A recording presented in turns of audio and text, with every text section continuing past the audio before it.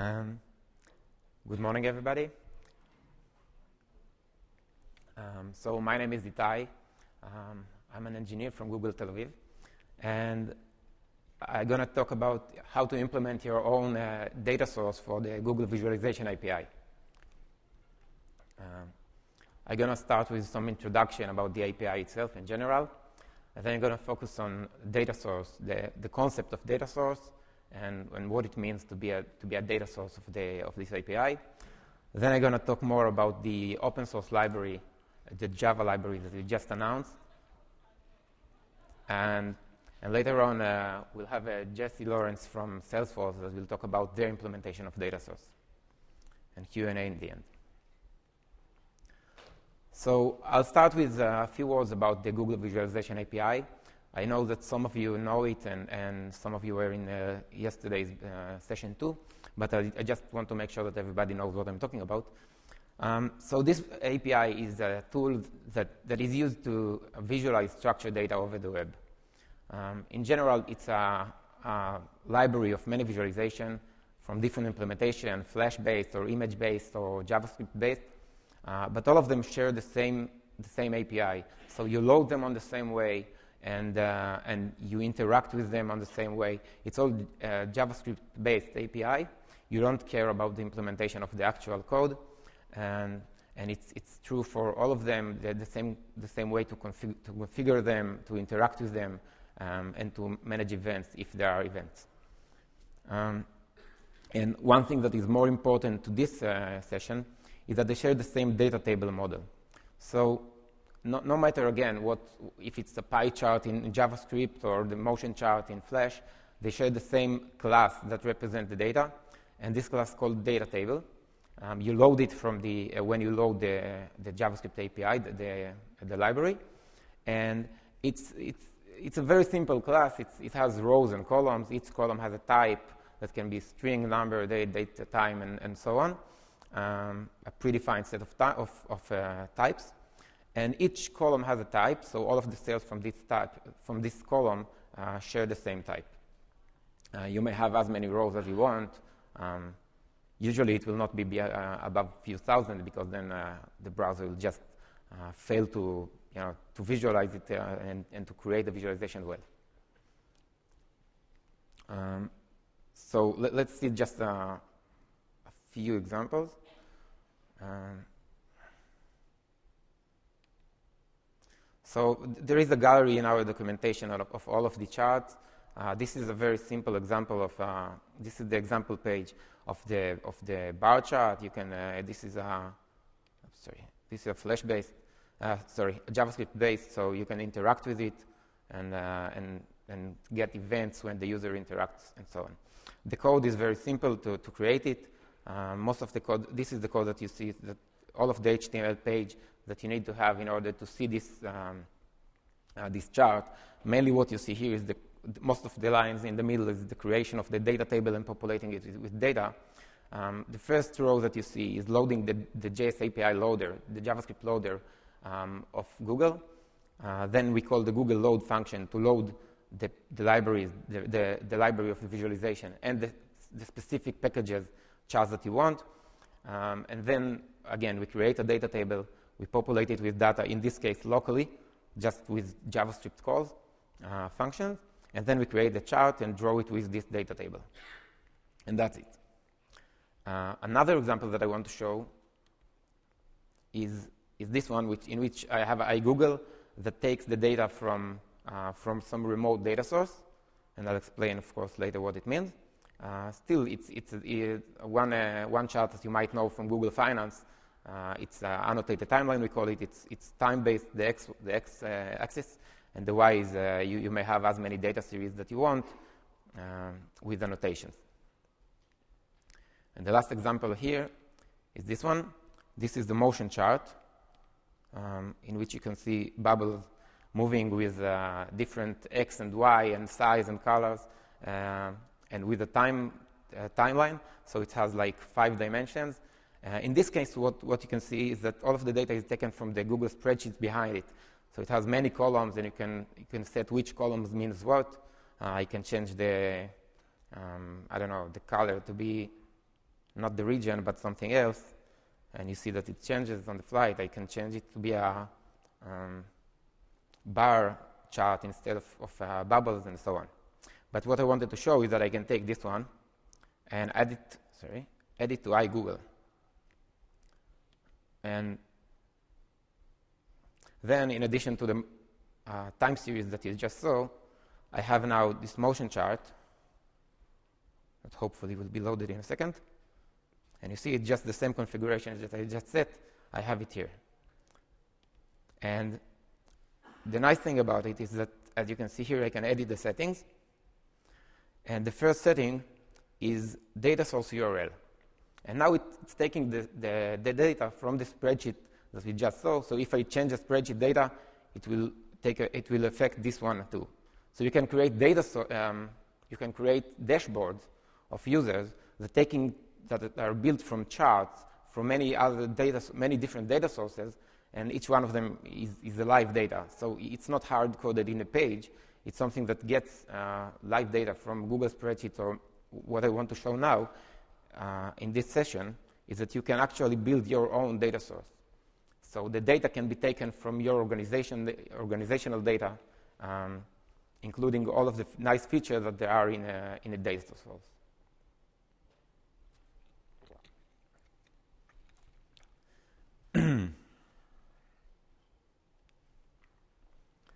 so again, you can create a data table locally, as we saw in the, in the example, by just creating in JavaScript a data table object and then add columns and rows and set the values.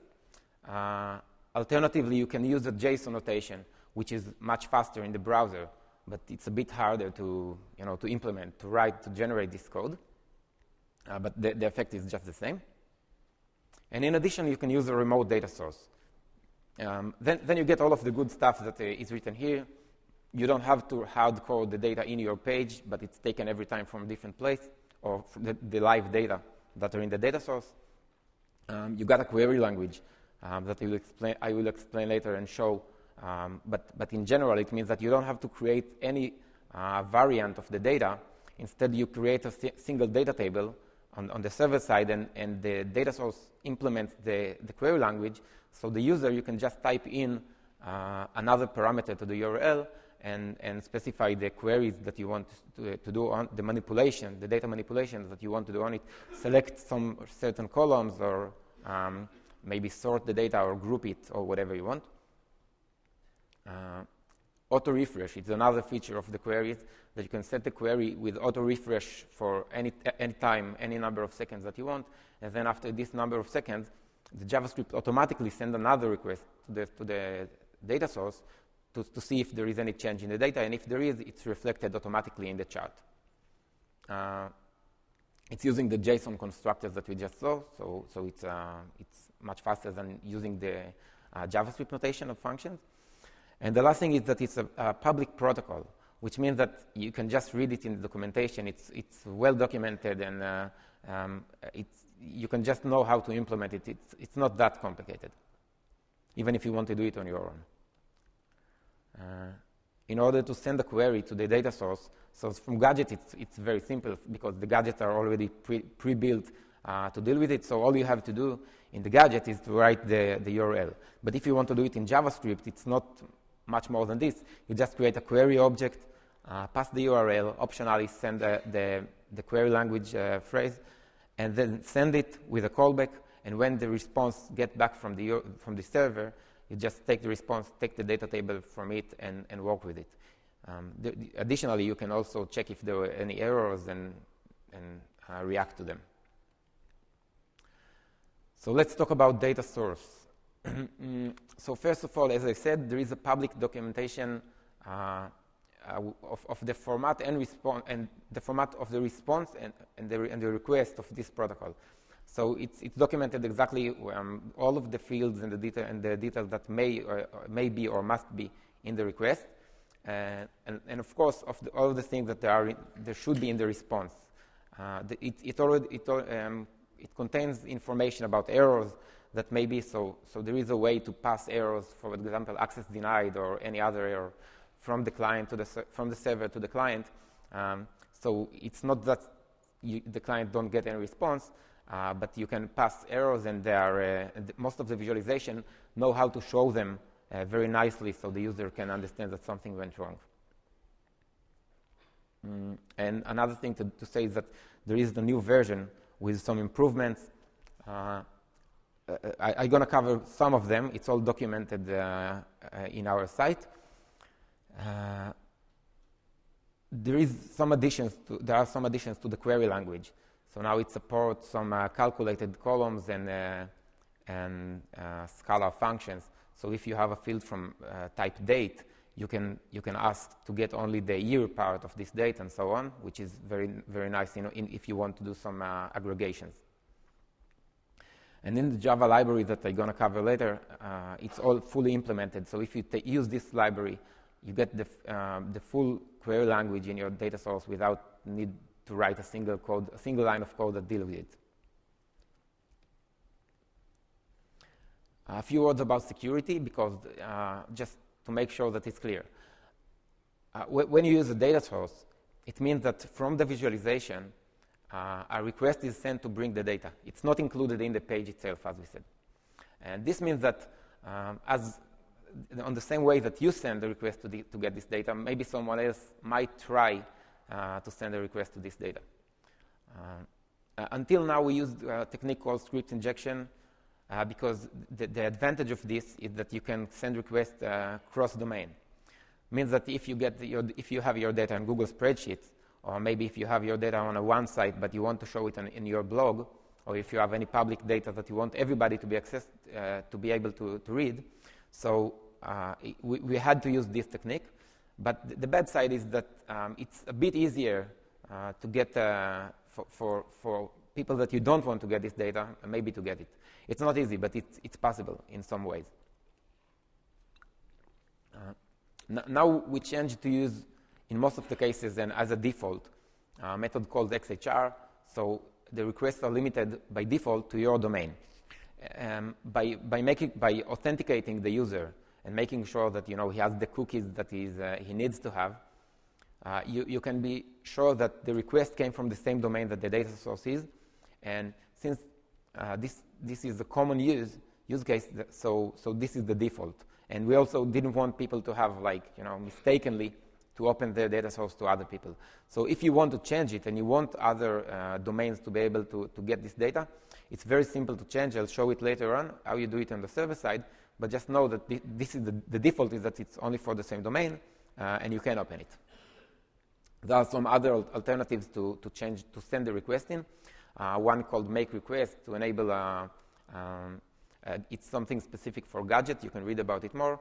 And if you don't specify any anyone any option, then it's it's uh, it's we, we, apply some heuristics. And, and, if we see that you send a request to the same domain of your of your web page, uh, then we use XHR. If not, we use script injection.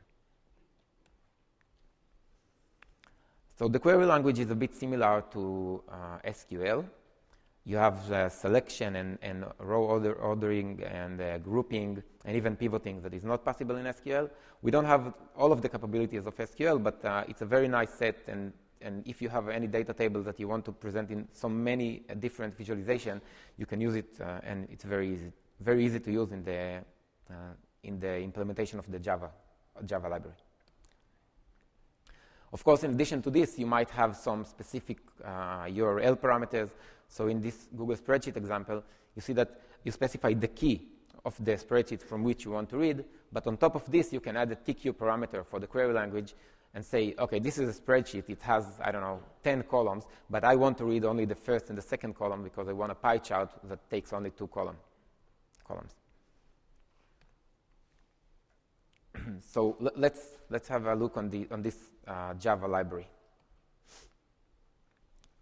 as a concept, this is an open source library. Uh, so you can get the code, you can modify it for your needs and do whatever you want. Uh, it has, again, as I said, full com uh, complete support for the query language. It, it, it, has, it contains some, uh, some examples. So if you just load it and within, say, an hour, you can just read through the documentation of the getting started, and then you have uh, working Tomcat with all of the configurations that you need. and you see running examples, and it's very good to start with this. You know, now you can go and create your own examples or your own use cases that are not that simple, maybe, um, but still you have something to start with, and you see real, real visualization uh, as, as, they're going to show later on today. Uh, there, is, there, are utilities for CSV and, and MySQL. So in, in, most, in many cases, people have CSV files or MySQL data, uh, tables, and they want to use this table to visualize this data. But today there is no way to do it. Okay, you have a CSV file your, on your computer or in your, on your website. There is no way to use it to visualize this data. Uh, what this library provides is some classes that you can, with very small number of code lines, uh, just specify the URL of, this, uh, of these files or the location of these files, and we take it from there. We take it, we, we access these files, we, we change, we transform them into the JSON format of, the, of the response of this protocol. Uh, in the middle, we take the query that the user provided and apply on, on top of this data table. And, and all, all, that you have to do is to specify the exact uh, the location of the file. I'm going to show an example of this. We have the same for SQL. Uh, as I said, by default, we use restricted same domain mode, but you can change it in, the, in a single line of code. You get the source code and you get jars. So if you just want to use it as is and you don't want to start uh, looking at the code or change it, you just take the jars, you put them on Tomcat as I'm going to show now, and there you go. And again, it's well documented, and there's a user group. If you have any question, comments, you can use it. So let's have a quick demo. So first of all, the documentation, in a general documentation of the, of the API, there is a section describing this new library. Um, and, and if you just go through the getting started, you'll see a very detailed explanation of how to install Tomcat, how to configure it to you to have this, uh, to, to install all, all of the things that you need, and, and you're set. Specifically, what I did here I just downloaded the, uh, the jar files, and the, the, all of the configuration that is needed is to take all of the dependency in the, the jar files, put them in the WEB-INF directory of Tomcat, as you can see here. Uh, in addition, I took the web.xml file, that is the, the file that tells Tomcat where, to, uh, where the application exists, and added this, this uh, mapping for, for these servlets so I have something called simple example here, and another one on the, on the bottom called CSV. I'm going to show both of them. Simple example is something that just creates uh, a static table, and CSV is something that takes the table from a CSV file.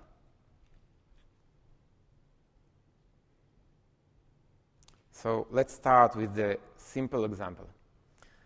This is all the code that is here in this servlet to create uh, the response. And, and, and I'll show in, in, a minute all of, the, um, uh, all of the things that you can do with this response. It's not just a simple table as it looks. So what I do here, I implemented, uh, I have a servlet called simple example servlet. I implemented, I extended, sorry, uh, data source servlet. And it means that I only need to implement a single, a single method called generate data table. This method gets a query object, which is the TQ parameter that the user uh, may may have uh, added to the URL with select some certain columns and so on, and the request. You might want to use the request to, you know, to know what is the what the other parameters the user specified, or to get cookies to authenticate the user, and so on. And the query, for, for the moment, let's assume that you can just ignore it. Later on, I'll show what you can do with it, but you don't have to do anything in order to have the query language working for you. Uh, so here in this example, I just build the data table object, add some uh, four columns of a name, a link, and, po and a population and a vegetarian of, of a, a, Boolean field of some animals, and then I add columns uh, for each one of these animals, and that's it. You can see that uh, down here that I, I set the restricted mode to false, but it's just for this example. Uh, again, normally if you don't do this, uh, then it will be true. So let's see the result of this very nice example. It looks like this. so it's not very um, useful, at least when you want to debug your code and, and, check it and make sure that you understand what's going on. although this is the, the, the right JSON format that, of the response. So let's see what you get for free here. The first thing is you can change the renderer, what we call, um, to HTML. So we know not only to create a JSON format out of this data table, but we know also to create a very simple data uh, table, HTML table. So when you're on the development cycle, you don't have to try to understand what went wrong. If you try to visualize it and something doesn't work, you can just uh, change the TQX parameter. Again, it's all documented, so you don't have to remember it. But you change the output format to HTML, and then you can see the table and, and find out what's going on. This is one thing. Another renderer that there is, uh, it's already written and supported, is CSV. So you might want to have a link just below the chart saying, okay, I want this data to be, I want the user to be able to download this data on CSV format. So you can just, just below the, the, uh, the chart that, that displays this data, you can have another link saying download this data and say have the same link of, of uh, URL, the same URL, but without CSV. And then when you click on it, when the user clicks on it, um, they get this save file option or whatever they want to do with it. In addition, let's change it back to HTML. And let's specify that we don't want the whole table, we, we, want, uh, we want only the first column. So there you go, TQ equals select name and you get the name. I can also order them by, by whatever field I want, or to filter these that, you know, their um, um, size equals something or whatever. Uh, and all of this, again, I just go back to the, to the code. So maybe, maybe one, more, one more thing to explain about the code structure. So there is an example here, and there is the library itself. The code I just I show now is from the examples. So it, it just uses all of the code of the library as is. It doesn't change it. It doesn't do anything. So as you see, there is, it's just a small example, um, creating a data table, static data table, and you get all of these renderers and all of these uh, uh, query language for free without doing to need, need to do anything. So now let's move on to um, a bit more interesting example, which is uh, this one. Uh, taking, using a CSV file and, and building the table on top of it.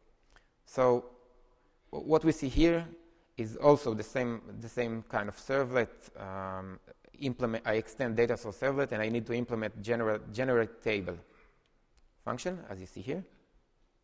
Uh, what I do here, I read a single parameter called URL, which is the URL, in this case, of, the, uh, of a CSV file.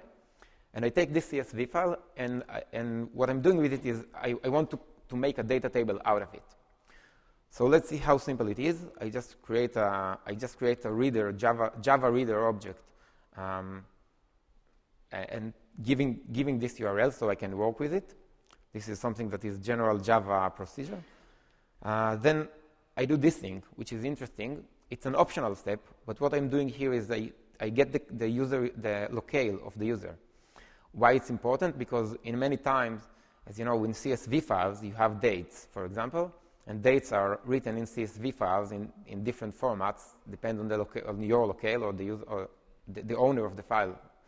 Uh, so what I'm doing here is just I, I, give this locale as a parameter to the next to the to the parsing of the CSV file. Um, you don't have to do it. If you don't do it, we take some default locale, uh, but it's quite useful. And the last thing I do is I call a CSV data source helper uh, read command, read uh, method. I, I tell, okay, this is the reader, and it does everything that it needs to do, including parsing the uh, parsing the file, creating the uh, the JSON format. In the middle, it takes the query if the user specified any, and and uh, apply it on this data table, and there you go. There is a data table, and and everything is done. So let's see this example in live. Um, oh, just this is, I'm going back to the, to the example I showed before. So this, this uh, I, I, just showed you here that, okay, there is a table, but let's see how it's used. So this is another, just a simple HTML page let's say hello data source and show a chart. Uh, this chart is actually a table, a vi table visualization, not to be uh, mixed with the uh, data table that we just saw. It's a very rich table actually. You can, the user can select uh, rows and, and, and sort them and get select event when, when, something, when the user interacts with it. You can customize it very well, and it's a very nice tool. Um, I want to show you the, the, the source of this page. So you can see here that I, in the middle, I just send the query, uh, send the query um, to the remote data source called simple table. Let's do this so you can read it. So I send here a request to simple table. Uh, this is the servlet that we, we saw before on the other page. And I get the query. Sorry for that. I send a query, and when the response back uh, coming back, I just get the data from the response and, and process it as if it's a normal data table. And now I go on to the CSV file. So again, we see here the same thing. Um, the URL, see the URL on the, on the top, so it's mywebapp.csv uh, slash CSV. But then I add another parameter, URL parameter called URL in this case, which is the URL of the um, of the CSV file. So if I go to this file, I just open a new window, you can see it's just a simple CSV file. You, you, can't work with it. You can't do anything. You can visualize this data. You can process it. But with this tool now, I have this CSV file as a data source. So I can add here, um, sorry,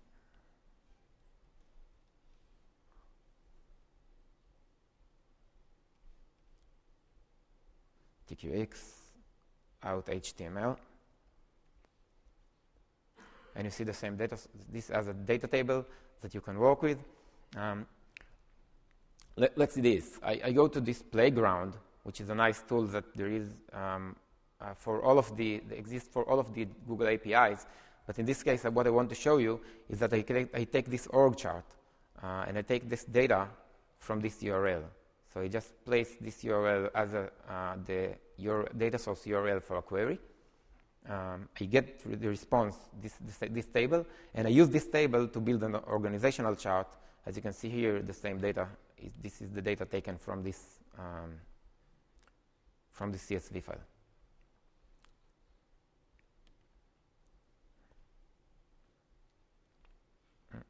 And going back here,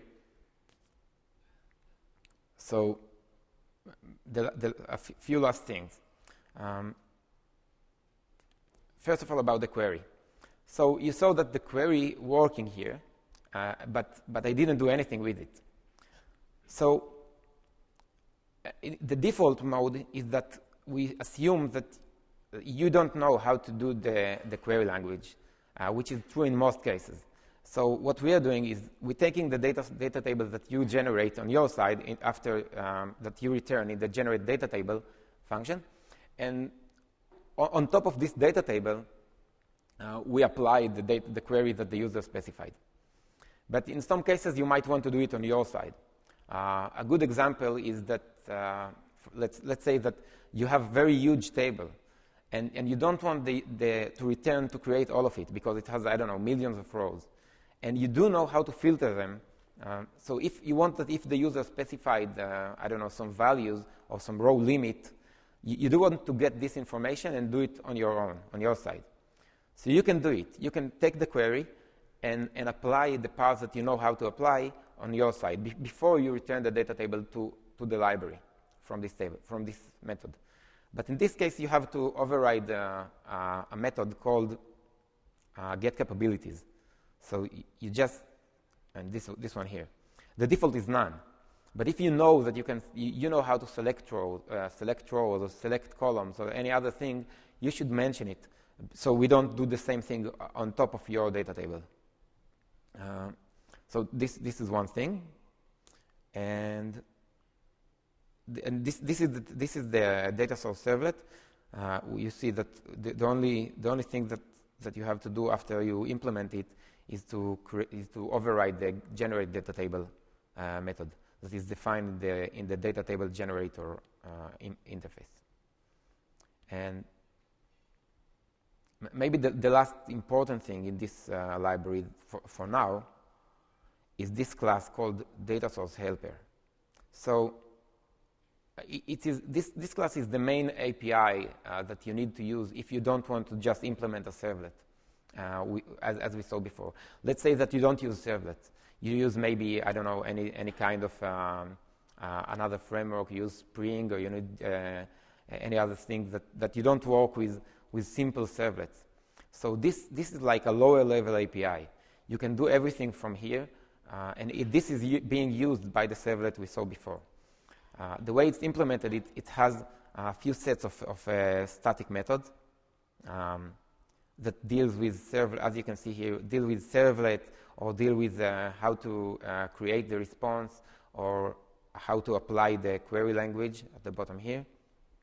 Uh, it has everything that you need in order to work with it. So you don't really need to care about, about all of the classes in this, uh, in this uh, library. This is your main API. If you use it, and there are examples, you can see how it's used.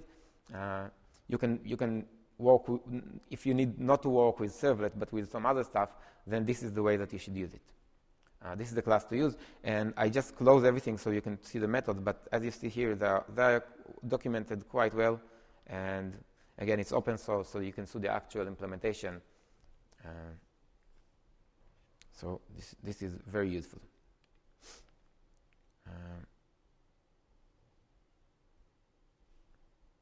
I think that's about it uh, for now. Uh, I want to call Jesse Lorenz from Salesforce. Uh, they implemented their own data source, and he will explain about it now. Thank you for that. Thank you, Itai. So, my name is Jesse Lorenz, and I'm a technical evangelist from Salesforce.com. And I primarily work with independent software vendors that are looking to build and architect applications on the Force.com platform. So, some of you might not be entirely familiar with Salesforce.com and the Force.com platform, so I'm going to use just I'm going to go through a little bit of uh, terminology right now, so we're all on the same page. But before I do that, I want to talk about. Uh, I want to tell you what I'm going to talk about today. So, uh, there's really two halves of the Google Visualization API. So there's actually the visualizations themselves, the annotated timelines, the heat maps, all that good stuff. And then, as Itai spent a lot of time talking about today, there's also the data sources. So back in November, Google and Salesforce.com started a partnership, and we released a set of components that allow you to embed the Google visualizations inside of your Force.com or Salesforce CRM apps. Today, I'm really excited to announce that Salesforce.com is also now a Google visualization data source. So we'll talk about that in a little bit more depth in a moment. But first, just to make sure everyone's on the same page with me here, Salesforce CRM is our suite of customer relationship management applications. We've got over a million users that are using it today to uh, market and sell and support their products more effectively. Now, below that is the Force.com platform and infrastructure. So, Force.com allows developers to go ahead and build their own applications on top of our infrastructure. So this is very similar to what Google's done with Google App Engine and allowing you to build applications on top of Google's infrastructure. That's what Force.com is. It lets you build your own business applications on top of our infrastructure. So I'm going to talk about two components of Force.com today. So Force.com is a complete development stack. It's delivered on demand as a service. And I'm going to talk about two components today. One is Visualforce, and Visualforce is what we refer to as our user interface as a service. It, it's our markup language that uh, provides you with a bunch of pre built components that ultimately gets trans- translated into HTML. And then uh, we're also going to talk about Apex, which is one portion of our logic as a service layer, and it actually allows you to write and run code on our servers on demand. It's a very Java like language. You'll see a lot of similarities here in a moment.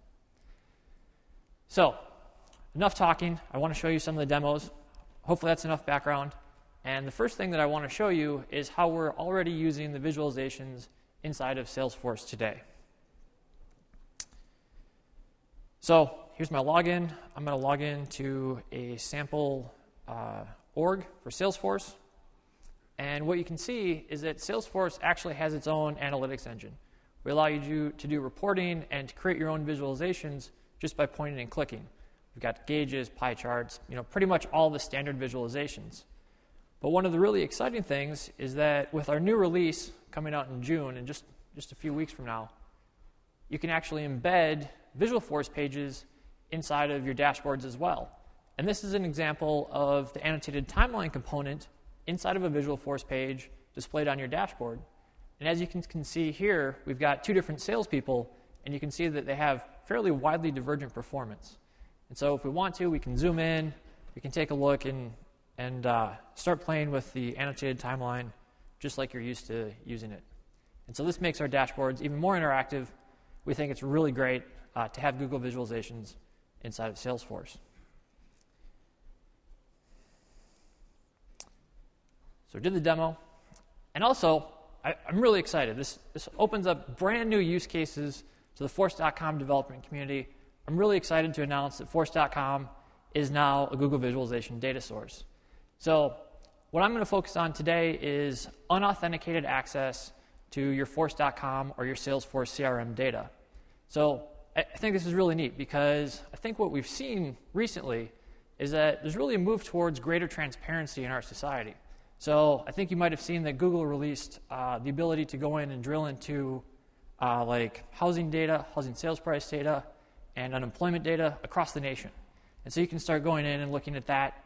And recently, data.gov was just released as well, which exposes a whole bunch more census data. And so people are, are, are able to go in, look at that data, visualize it, and understand it more. And this is another step towards that transparency. And now companies can actually go out and start exposing their internal data. And when we thought about this, we thought, boy, there's just a whole bunch of use cases that are, are really interesting here. So if you're in marketing and you're putting on a conference like Google I/O, you might want to put out a heat map that shows where all your different users are coming from, so they can uh, figure out if they're going to be able to make connections from their home state or their home country. You know, if you're in sales, you might want to expose your product list. You might want to expose your most popular products, just like Amazon does, right? They list the top books that are, are being sold today. With uh, Force.com as a, a visualization data source, that's really easy. That's 10 lines of code. Your company can do that as well. And finally, the use case that I'm going to go through today is also being able to expose your support data. So the sample that I'm going to walk through in just a moment here is actually at a call center where you can actually start to expose your call volumes uh, proactively to your users. So let's take a look at what that might be. So I've mocked this up for the California Department of Motor Vehicles. This isn't real. This is, you know, this is a demo. Um, they're not doing this today, but you can see that here's the page, right? So if I wanted to call the DMV, you could use that number. You could do that right now if you're really bored. But the call volume for today can be displayed down the bottom. And this is really interesting, right? For two reasons. Because if I'm calling the DMV, I can take a look and say, all right, it looks like it might be a bad time to call a DMV. I don't really want to sit on the phone. I'm probably just going to call tomorrow morning at 8 o'clock. I'll get right in, I'll talk to someone, I'll be done. It's also an advantage because if people start doing that, then the utilization of your call center should smooth out, right? So I think this is a really powerful uh, example of your data source, of using uh, your internal Salesforce CRM or Force.com data and exposing it to the public. And so I want to show you how easy that is. And to do that, we can look at the page source for this page. I've, I've simplified it a little bit here so that we can all understand it. But, you know, up at the top, we've got some really basic styling. And the interesting parts are really this, this JavaScript here, right? So we're going to load the, the, JavaScript API for the visualizations. And then we're also going to, uh, what Itai showed before, we're also going to create this query object. And again, you know, here's the URL to our data source. And this is public. You could go to this right now. I'd encourage you not to since it's kind of a small developer instance. Uh, but uh, we can actually we can take this data source right here. I'll copy that E as well. And we can see the data that's being returned by this endpoint. And so there it is. So you know, we didn't have to do anything in order to generate this. This is all being generated for us. And if we want to see what that looks like visually, you know, we can go over to iGoogle here, and we can uh, we can drag our Force.com data source into a gadget on iGoogle. So paste the URL there, and we'll hit save. And you can see all the different fields that are available to us at this endpoint. But one of the things that we've done is we've actually, uh, we've actually added a query, or we've implemented uh, parts of the query language here so that you can start filtering and you can specify the columns that you want to return, you can specify order bys and limits and things like that. And so to give you an example of that, you we'll add that TQ parameter that Itai mentioned before, and we'll select uh, the hour and the number of calls. Whoops.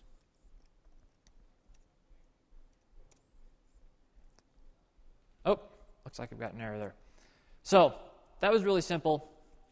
Uh, so it, that was really simple to do to wire that up, that visualization. But let me show you the code that we had to write. And I'm going to go in. This is the, the Force.com IDE. This is the integrated development environment for Force.com applications.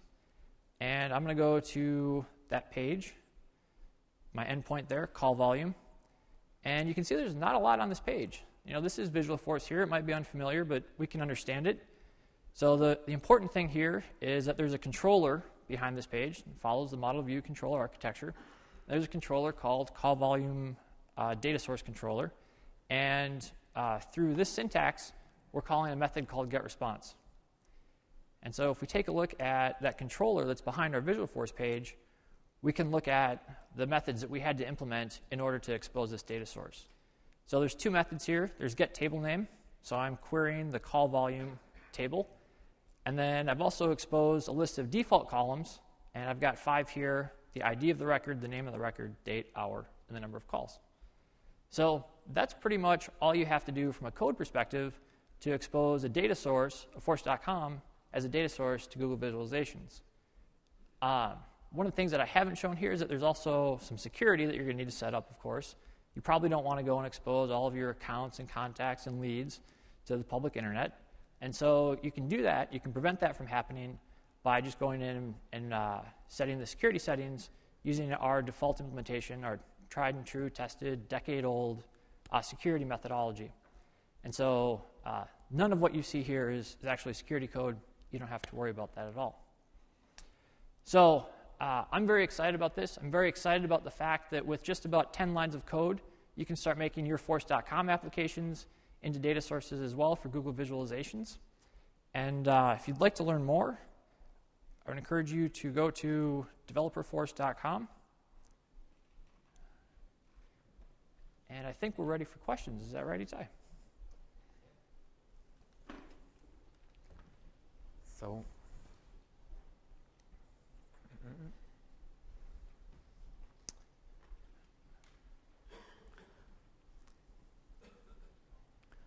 yeah, that's about it. Um, so again, if you need any more information, so there is detailed, detailed documentation and many examples, um, user group and everything uh, on our site. Just Google for Google visualization. Um, I hope you'll find it useful. Thank you. And if you have any questions. Yeah, and, and I think if you do have questions, it'd be great if you could use the microphone for the recording.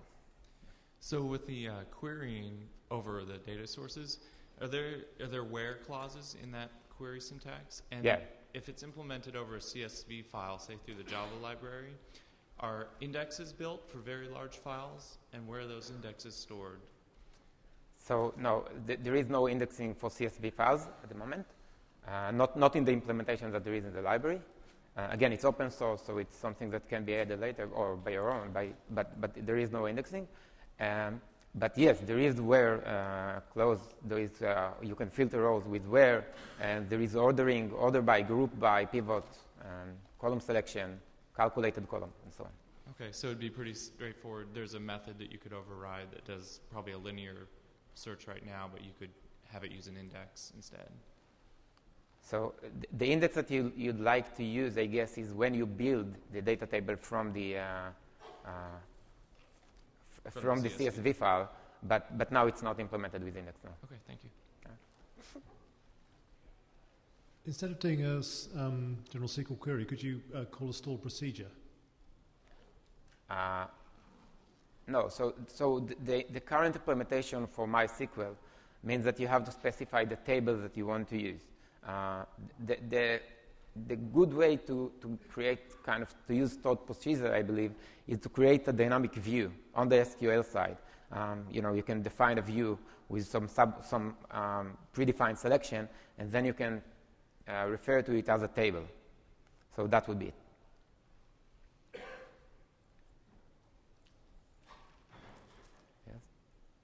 Yeah, I have, I have two questions. Um, first one, just a general historical question about the protocol. Um, I was investigating, and I know that there's something called um, the DAP protocol, and also something called OpenDAP, which is used in um, applications for like weather data, and also been applied to astronomy data and things like that. And I'm wondering if there's been some. You're shaking your head no, so you pr- probably didn't invest, or maybe you're not familiar with that. But I'm wondering if there's something that was kind of a predecessor, or it was used as a um, inspiration for the protocol that's used, just to put it into context for what. No, so what's, I'm, okay, all right. I'm so sort of of ge- generated fresh from the ground up, then. Okay. Okay. Then the second question is, um, if there's a, if we have a lot of data that um, is not stored in a CSV format, some just a custom binary format, um, what would be the, the technique that we could use to, to make it available for visualization? So, so as we saw before, you can just implement the generate data table, and, and you, you'll have to, to build your own code. But the nice thing is, all, all you have to do is to, to generate a code that takes this internal format that you know and create a data table object. All right. So you, you can take a look at the CSV implementation, which is, by the way, using um, some, some external code called the OpenCSV. So it's an open source. Uh, but, but, but generally speaking, it's, it's quite simple. All you have, if, if you already have the data and you know how to modulate it to be a two-dimensional uh, table, then you're set. Build the actual Java coding that needs to build a, a data table and add rows and columns is very simple. Right. Hi. Um, I just had a quick question about the query language. Um, if I have a really dumb data source that I create myself that's just producing like the JSON format for the columns and the rows with the data in it, can I use the query language on that? Is that is that an understanding correct? That I can actually query against um, a data source that doesn't actually implement any of the query language? So, so this is a data source that you implemented? Yes. Yeah. So it will not work as, as, as is. You'll have to, you have to implement the data, the, the query language.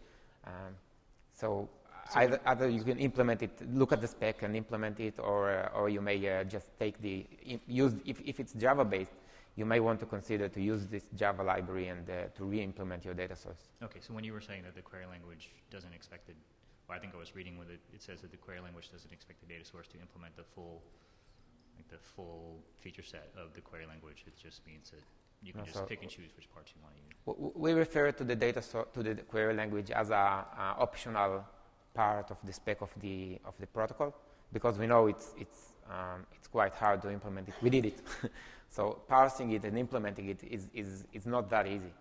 So i i you don't have to do it to, to be a to be a data source. And in many cases, if you want to be the data source of your own site, so there is no really need, real need to do it. You can use your external parameters and w- whatever you know to return, you just return it. Okay, thank you. Okay. Okay. Anyone else? Uh, I have a question about uh, MySQL in particular. Um, so I'm curious about with the query language, are you actually parsing the query that's coming in, or with MySQL, are you just passing that through to MySQL? I'm thinking about this just because I have implemented something which is similar. I like your architecture much better. So if I'm looking at porting what would be gobs of SQL that I've already got, am I going to have to make it so that it's compatible, the SQL is compatible with your SQL? Yeah, okay, this is a good question. So, wh- what we are doing, we actually parse the data because um, we, we just want to make sure that there is no error and stuff like this, and so we parse it, but we don't implement it. What we are doing, we pass this, da- this query um, to, to MySQL. So, we parse it on the first end, and then what we are doing, we, we build a SQL query and send it uh, to the MySQL engine. Okay, so we parse it, but we don't implement it. Uh, unless there is one case that we do it on our own, uh, which is, for example, the pivot. So in, in our query language, you can specify pivot. We found it very useful Um, so many times people have you know data of, of uh, quarterly data and so on, and you want to pivot it to show quarters like this. And MySQL and SQL in general uh, does not support pivot, which is a pity, but, but this is the situation. So in this case, we have to do it on our side. So we don't pass anything, or most of the cases we don't pass anything to, the, to MySQL, but do it on our side. But any other way, if, if we see that the query is something that SQL can deal with, we pass it on to that's, SQL. That's great. I didn't realize you guys were doing that. That's really good to know. So, are there any limitations in terms of, you know, uh, if you think of sort of the body of SQL that something like MySQL could handle, whether it's, you know, unions or different types of joins or really complex or verbose SQL? Yeah. So for now, joins and unions are not part of the query language. So you have to, to create a you know predefined view uh, on your data source on your database and call it as a data table from, from our side. Uh, this is one thing. But as about the size of the of the data, um, usually it doesn't make sense to pass the data that is more than a few thousand of rows uh, to, to, the, to the browser. It will just um, take a long time to be processed and to be sent to the browser. And usually, most visualization don't know how to show uh, such a, such amount of data. So you'd, you'd better send some kind of grouping information or filtering uh, in the query language. Okay, thank you. All right. Okay. Thank you, everybody. Uh, any other questions? Okay. So um, I don't know. You can come here maybe and um, ask later. Okay. Thank you.